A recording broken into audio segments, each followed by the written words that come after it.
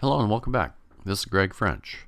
Uh, today we're going to begin a new course called Computer Repair Training. This is an update to the class I've been teaching. Uh, I teach at an ROP in Southern California. Been teaching this course for about 10 years. I have 25 years in the industry and over 10 years teaching. I have an AA degree, a BA degree, and a master's degree. I've got a lot of credentials. Got A plus certification, Network Plus certification, also certified Cisco CCNA, and I'm certified as an instructor for Cisco. This uh, course is going to be a fairly long course. Uh, it's going to be 50 plus lessons. It's, it takes about a year long to get through it. Um, if some of the resources uh, that are going to be available, you'll find at this website, computerrepairtrainingplus.com. Uh, I'm going to have some activities and some labs and some other resources at that website if you're interested. Uh, for those that are listening in on the internet, uh, you're welcome to participate in this course. This course is actually designed for my students. I have both adults and high school students that take this. Uh, let's begin. Learning objectives. We're going to learn the computer needs both the hardware and the software to work. Both, both are needed. One can't work without the other. The hardware is the actual physical. Uh, the software is what drives the hardware, gets the hardware to do something for us. We're going to learn about many different hardware components inside and outside the computer. It's quite a large number. We're going to be going over each one. Hardware is the physical. This is the physical portion of the computer, what we can see, what we can touch, what we can handle. The software is instructions that are used to manipulate this hardware. So again, we need the software to drive the hardware. Uh, all hardware operations are based on binary values. This is what we call a base 2 numbering system. We just have two characters, a 0 and a 1. And with the 0 and the 1, we can represent all of the information that you see on your screen and all the information that we communicate through our data lines from computer to computer throughout the entire internet. Binary number system again consists of two digits, a 0 and a 1. Uh, we have bits. What we call bits is just a 0 or a 1, either one of those characters. A byte would be eight of those characters. Uh, here you can see a lady sitting over here on her computer. We have a, a network and a printer. Uh, as she types, she's actually creating ones and zeros. And those ones or zeros are processed by the computer. The computer outputs them in a data line uh, it might run into some other computers or it might get over here to the printer and the printer will be able to translate those ones and zeros into characters that we can read. So all communication, storage, processing, everything is in a binary form. Computer doesn't understand English or any other language, only ones and zeros. PC hardware components. We have input and output devices, I.O. This is external to the case. Uh, processing and storage devices are internal. So we have a CPU, hard drive, other components internal to the case. External, we have keyboards, we have monitors, and other devices.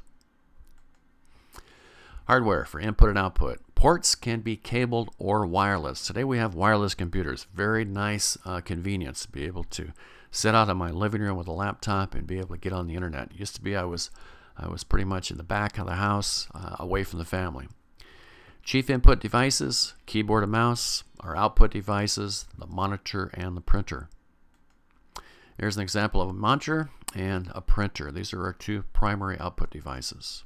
We get information uh, delivered to these. We can read the information on the monitor. We can see it as it's printed on the, on the printer. Hardware inside the case. Uh, storage and processing occurs in the case. Uh, internal devices. We have a motherboard, a CPU, memory, maybe a video card, maybe a modem. There's also a hard drive and CD-ROM, uh, CD or DVD. You also have a power supply that supplies all these devices. We're going to be talking about the power supply in another lesson and also the hard drive and the motherboard and CPU and memory in another lesson. Expansion cards, they're installed on the motherboard. These are cards that we can actually plug into the motherboard in uh, different slots.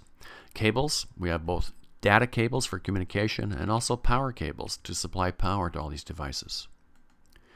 Uh, here's an example of the inside of a case. This is actually my computer. Uh, we have power supply up here on the top. We've got some power cables supplying all the different devices and the motherboard. And there's some fans here. There's a fan on the back of the computer and a fan on top of the CPU. Uh, CPU needs a lot of cooling. It gets very hot. This is a video card down here plugged into an AGP. We also have a motherboard. The motherboard is this large circuit board that that houses all of these devices. All these devices plug into it. I also have an IDE power or data cable over here on this side.